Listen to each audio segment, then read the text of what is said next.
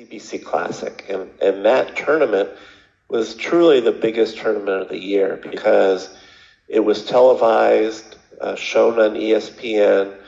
So that event was the most viewed event, and Hogan had to win that event. So now I'm playing Hogan, and when you talk about colliding of energy, him having to win the tournament, Dan Bertolucci refereeing the match, it was, and I'll say this, uh, the, the greatest match of all time. Players compete for $15,000 and the Catalina World Cup. Colton of St. Louis, 15-11 and 15-8. And in the match of two veteran American professionals, Jerry Hilecher played superbly in defeating Davey Bledsoe 15-7 and 15-6. Hi, everybody. This is Scott Oak, and welcome back to Winnipeg's Court Sports Club for the CBC International Racquetball Classic. Well, we expect an excellent semifinal today. Marty Hogan has been seeded first in every tournament he has entered since 1976, and playing in this tournament, Jerry Hilecher just might be at the top of his game. And Jerry, you pretty well have to be at the top of your game when you're playing Marty Hogan, don't you? Marty's been number one over the years. He's he has an excellent game, forehand and backhand. I'm going to have to play tough. Uh, one thing Marty does is keep the pace very quick and I have the ability to slow down the pace by hitting off-speed shots and misdirection shots, and hopefully that'll take away some of his edge. All right, uh, Marty, since Jerry has been playing so well of late, I would say this one has the potential to be your toughest semifinal in the CBC Classic. There's no doubt. Uh, Jerry's a very tough pressure player, but I think his game has uh, many flaws in it. One being that his backhand is considerably weaker than his forehand. But Jerry does have one of the toughest forehands in the game, and my game plan is simply to keep the ball to the left and, and force those errors. All right, I'm sure you'll be wanting to show Marty those many flaws in the court, right, Jerry? I'll show each one. Okay, we'll see what happens on the court as we join Charlie Brumfield and Don Whitman.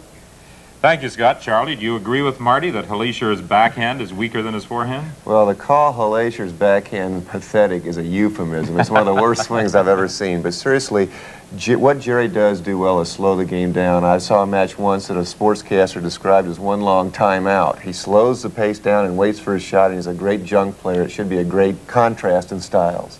Hilecher and Hogan in this semifinal match. Leach's professional player Marty Hogan with the tip, and now on the court. Game action, game one. The score tied at 14. Marty Hogan, Jerry Hilecher, Hogan the defending champion. Hogan's got the forehand. Notice how he rushed it, tried to intercept the ball as quickly as possible, slid the ball down the right wall. Hilecher makes the big move to get the ball, but it's gone bye-bye. And a 15-14 first game victory for Marty Hogan, and he is delighted with that performance. But in game two, the situation reversed. Hogan had difficulties, and now it's Hilecher serving game point. Well, Jerry completely reversed the timing on his plays and got Marty guessing and moving incorrectly, moving into the ball. He started over-hitting the ball, and Hilecher was able to recover, pop the ball up to the ceiling here, waiting for a better opportunity. Hogan sets up on his normally awesome. He backs around his backhand. Now, he doesn't usually do that. Drove the ball into the ground for the miscue in the game. So we are going to a tiebreaker. Hilecher and Hogan. Jerry Hilecher coming back in game two for a 15-7 victory after losing the first game by a score of 15-14. The tiebreaker right after tiebreaker. Jerry Hilecher coming back to win game two after losing the first 15-14. Point. Quickly, he gets a point in the tiebreaker. This is a very, very important game for Marty's career. Uh, course, Jerry won the first professional One, tournament of the season, zero. beating Hogan in that event. If he wins this tournament, Second beats serve. Hogan here and goes on to win in the finals, he would take temporary possession of Marty's throne. And, you know, Marty's got the seat all warmed up. He doesn't want to leave it. There's no doubt that Marty Hogan has revolutionized the sport of racquetball. Well, if you look at all the different sports, so when Bill Russell came into basketball or a Jack Nicklaus comes into golf, each of them has a particular dominating element in their personality Zero. and their game style that completely one. revolutionizes the way the game is. Short. With Russell, it was, of course, defense. With Jack Nicklaus, it was concentration and the ability to combine brute force with tremendous Second finesse. Uh, with Hogan, Hogan came into a game that was dominated by control, uh, shot selection, Point. court gentlemanship, and completely transformed it into a game of power. In the later stages of his career, as now he's won four world titles consecutively, he's added touch, finesse, One, and he's a complete all-around player and a true champion. Short. But can he beat Hilecher in the tiebreaker? Well, he's going to give it his best shot. You can rest assured of that. However, he had problems in game two. It almost seemed in game two, in which he lost 15-7. There were times in the match where he lost his con concentration. Point. An early lead in a tiebreaker is a must for Hogan right now because Hogan in my mind, is the toughest player in the country to 11 points. He slows it Two, down, he junks. He reminds me of a guy playing the shell game. You never know under which shell the P is. You- You'd swear Hilecher was going to hit to the right and he goes to the left. And he covers like he was auditioning for a job as a circus clown. He's diving on the ground, rolling. Point. Couldn't stop that play as Marty drove the ball from very, very close to the front wall down the right side, and Jerry had to wave at it helplessly. Three, serving one. Hogan's noted for his power serve. It's been clocking the radar gun at 142 miles an hour, and that one was just too quick for Hilecher to get over. Although Jerry is probably has one of the best lateral moves. He's a lanky man. He steps over with a 6-1 frame and can return almost any serve. But what about that weak backhand that Hogan alluded to at the start? Well, we used to call it the land of no return. Hilecher's improved it considerably, though, to give him his due. You don't win a professional tournament without being equally shot strong. There's a disputed shot. Jerry's not happy about it. Marty got down very low on that forehand. Let's take a look at it. Hilecher dropping the head of his racket with his weird swing. Marty Point. getting down with that tremendous athletic ability trying to drive the ball in. And it was a close call. Marty, this is reminiscent of game two when you held a substantial lead. Uh, is there any possibility of the same lapse in concentration? Well, I sure hope not. That, uh, that second game really slipped away from me. I had a 6-0 lead, but he served near perfect. He really kept me off balance, and boy, he served about eight aces, so I was clean out of the. Uh, I didn't even have a chance to rally. If I can get the ball in the rally, I have an 80% chance of winning the rally. Five, serving one. The confident Marty Hogan leading 5-1 in this 11-point tiebreaker. But as Marty referred to game two, he led 6-0 in that one and wound up losing for uh, 15-7. Hilecher serving. One thing about Jerry, normally he'll play defense on his backhand side, One, treating it as a five. shield and with his forehand as a sword. However, Short. in recent Second tournaments, serve. his whole game has transferred to more of an offensive style with his backhand, and he puts the ball away once he forces a player off balance with his forehand push, like he Point. did there. Beautiful shot. He leaned to the right, poked the ball into the right corner. Nothing really powerful, just where's the P, Marty? Where's the P? Hilecher serving 11 point tiebreaker. Two, serving five. Notice how low he gets on the ball. He steps into it and generates tremendous power by driving his upper body Second toward the target zone in the front wall. Looking for some of those aces that he hit so successfully in game two. Up, Side out. tough shot. What he tried to do is what you should try to do anytime you're jammed by the ball. Bounce away from it and put the ball in the direction where it's meant to be hit. If it's interior to your body, go into the left corner with your forehand, which Jerry tried to do there and missed it by Five, the smallest of two. measurements. Short. Hogan's not getting down as well in his serve as he normally does. So the consequently, the ball the is hitting a little bit short wall. of that back service line. It Second has to clear to constitute a legal serve. There are no appeals in the serve. What was appealed there was, a sh- was whether the serve had hit the floor first. Point. Well, you don't really want to give Hogan that one. You don't pull on Superman's cape, and you don't give Hogan the forehand from five feet in the front court. Jerry knows that. He's talking to himself.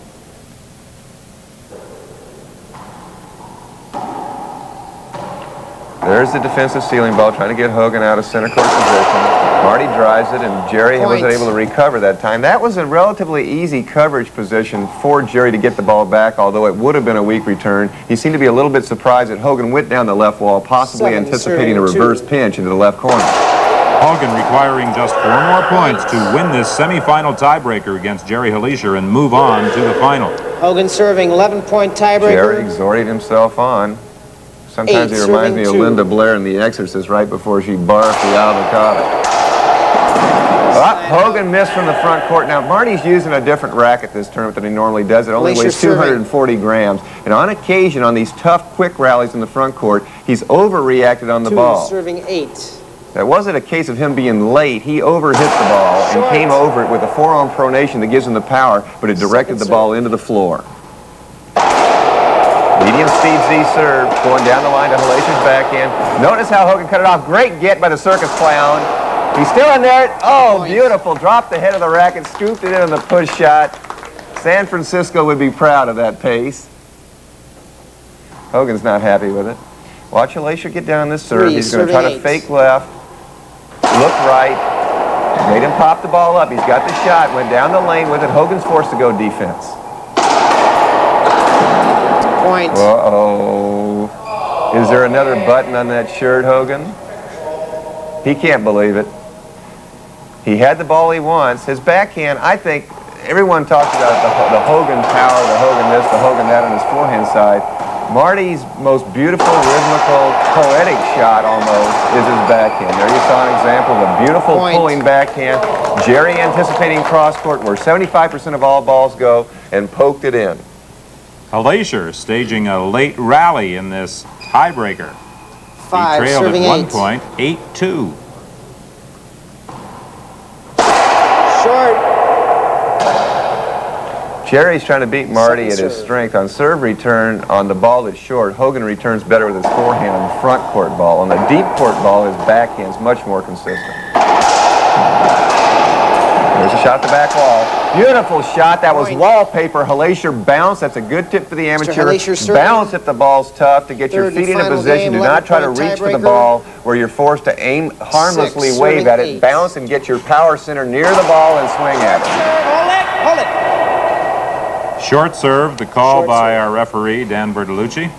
And of course, there is no appeal Second on serve. the serve.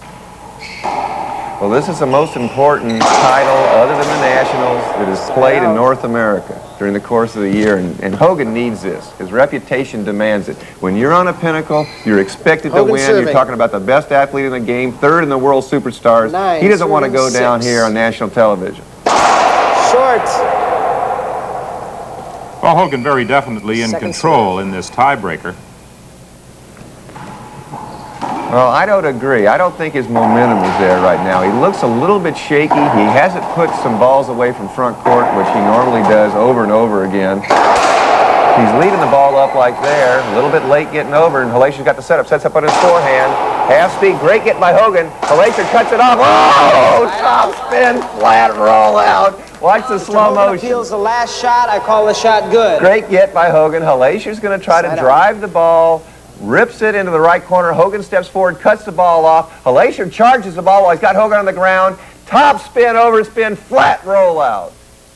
Okay, well, he's two points away from the victory, so it would seem more important for you, though, to add some points here. Well, I got to serve a little better. We're, we're both having opportunities, and it's getting to a tight point in the match. We're both missing a couple, but still, we're not afraid to take the shot. Marty and I are both going for winners every shot, just like it's 0-0. So, uh, There have been no rallies at all in this tiebreaker. well, we're going for the quick shots. Um, we're both in great shape. I'm not even sweating. I guess it's the, the dryness up here, but uh, I can't take more time out when I dive to wipe up the floor, so I guess I'm going to have to gut it out. Okay, good luck in the rest of the tiebreaker. At the conclusion of the tiebreaker in the semifinal after this commercial break. Ball. Some of the frustration of not being able to put this one away, very evident with Marty Hogan. Jerry's taking his time, letting Marty think about it. Glacier serving. He wants that number one position more than anything Eight, else, and he can 10. taste it. He needs three good serves. Forced Hogan up. Jerry taking the ball at the back wall. Not too good. He's got his forehand, though. Hogan, great get. Tries to slide the ball down the left wall. Beautiful three-prong plop shot. Hogan kicks it in. He should have kicked it in the first time. He's got the forehand over there. A little bit of interference, not called. Marty goes down. Jerry steps forward, drops the head of the racket, and slices into the corner. Point. Mr. Hilecher serving. Third game. 11-point tiebreaker, 9. Serving 10. Tension mounting here at the Court Sports Club. Marty Hogan, the defending champion, one point away from victory. Oh, beautiful. Well, here it is. Watch this in slow motion. Good get by Marty, popping to the ceiling, but it comes down a little bit short. Jerry sets up on his potent forehand, drives it into the corner. Marty has no chance as the ball bounces twice. He's Third fired game. up now. This is it. 10 game this and match it. point, What's he going to do with 10. the serve? He's got the best in the game. Let's see what he does with it. Drive down the left wall. Hogan down the left wall. Beautiful lane shot. Hilecher flips it up. Marty's got his forehand. Forced to go defensive, which is unusual. They're both waiting for that opportunity to attack. So, ball off the sidewall. Jerry sits up in his forehand, goes down the left lane. Could have been interference. Calling a hinder. I thought it was a good call. Let's watch the replay. There's the drive as Hilecher barely gets out of the way. We saw in a previous telecast that that can constitute a visual hinder. 10, game and match point, serving Okay, 10. here it is. Game and match point. Drive down the right, good drive. Wide angle pass by Hogan. The circus clown gets it back. Hogan's got the backhand. The wide angle cross court diving get. Marty goes to the back while he's back. Oh, it skipped in! It skipped in. That's the match. There Side out. Oh! Take away his white cane! Take away his white cane! It's play, gentlemen. Let's watch the replay. Jerry snapping the ball back. Marty setting up off the back wall with his backhand. Jerry, do you want Driving to it. Let's play. Up, an obvious skip shot right up in the front court, good. but they both did the race to the wall. The linesman split on the call. We replay. Hilecher 10, still serving and 10 match point, serving 10.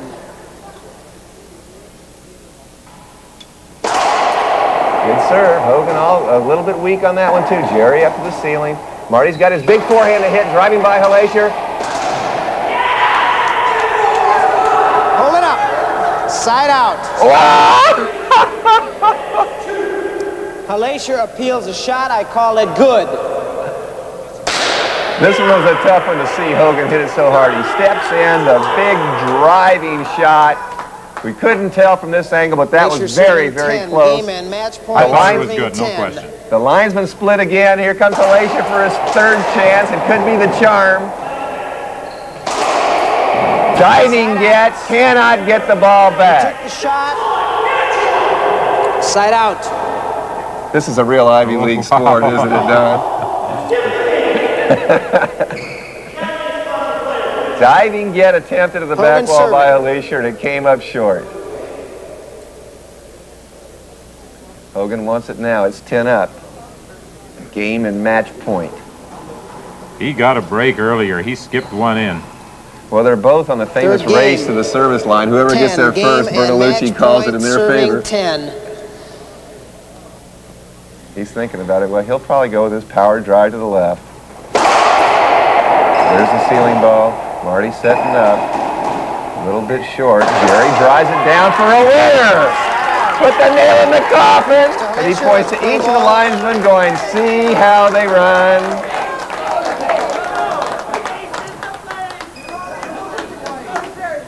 Jerry wants it. Wants it very, very badly. He needs a crack. He needs a break. He needs a fluke. Hogan never gives you anything at 10 up. 10.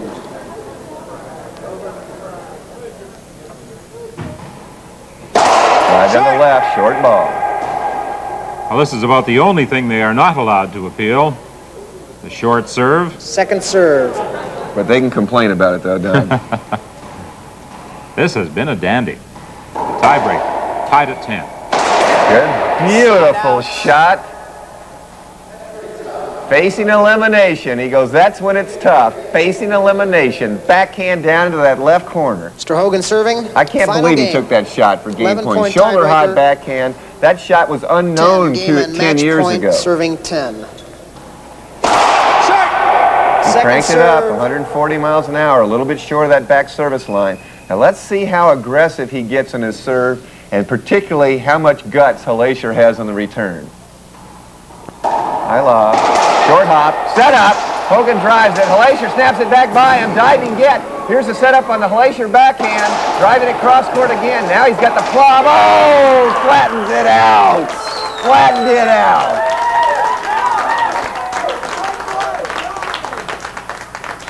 Good crowd at the Court Sports Club, and I don't think there's any doubt they're pulling for the underdog, Jerry Hilecher. Hogan can't believe it. He had an opportunity there, not a real good serving, setup, but one game. which you'd expect a four-time world champion to convert. 10. Game Jerry and made a match very, very difficult shot 10. to win that point. Is this the uh, fifth time that Hilecher has served match point? Went down the right side, caught the crack. caught the crack. Oh, the call's short. On the line. Let's play it over. Second serve. Of course, he can't appeal the serve. Well, in all fairness to Bertolucci, this is the most difficult of all racket sports to referee. It's very, very tough with the serve moving that fast, but that ball was very close to being over. Beautiful drive. Great diving get by Hilecher. Hogan sets up for the big forehand. Goes down the right wall. Hilecher cuts it off. And it is over. Jerry Hilecher with an upset, knocking off defending champion Marty Hogan in a tiebreaker. And what a tiebreaker it was. Hilecher, the winner, 11-10 in this tiebreaker. There's the power drive down the left side. Jerry leaving his feet, flipping it up, making the roll. Marty backing up to crank up in that big forehand shot. Steps into the ball, rips it down the line. Jerry off balance, tweak. It goes in for a winner. Jerry Hilecher, the winner of our semifinal, beating defending champion Marty Hogan. And uh, all the calls aside, that may have been one of the greatest tiebreakers we've ever seen. That definitely was an exciting tiebreaker. Uh, it was a well-played match, and it was a simply a case of me having the match won and me waiting until I lost. I stayed out there until I lost, and, and I succeeded. You didn't appear to be killing the ball until you absolutely had to. For example, you didn't start really killing it until late in the tiebreaker, which, as you say, may have been too late. That was just, that's just 100% concentration. That has nothing to do with my skills or anything. Just that my concentration is just so bad, it's the worst I've ever seen in any athlete anywhere in any sport. All right, Jerry, comment on the end of the match if you would. Well, I didn't give up. He, uh, Marty was up. I kept coming back. I wasn't afraid to shoot. We had a lull period about halfway through the, the tiebreaker, which nobody was able to really get anything amounted. I was able to sneak back at that time. I was up 10-9, 10-10, something like that, and we had some great volleys. I thought I won the match twice. It was overturned. Uh, had a second chance, third chance, fourth chance, and uh, finally put it away. All right, you played very well throughout this CBC Classic, but for a while today, it appeared as though the rhythm of your game was off somewhat from what it had been earlier. Marty makes that happen. Marty's a great player. You have to be playing great. You can't play your game against Marty. You have to try to play as close to your game as possible. Luckily, I came out on top today. And literally the same shot comes up, back wall, back backhand, left wall, skip, front wall. and again, raise my arms up and Bertolucci, after a pause, side out, shot winner. And it's like, you've got to be kidding me. And I hear Brumfield, who is probably the greatest announcer of all time. I mean, if, if anyone hopefully someone could find this match because it is a spectacle just listening to the commentating. He is the greatest. And yelling and screaming to the ref, take away his white cane, take away his white cane.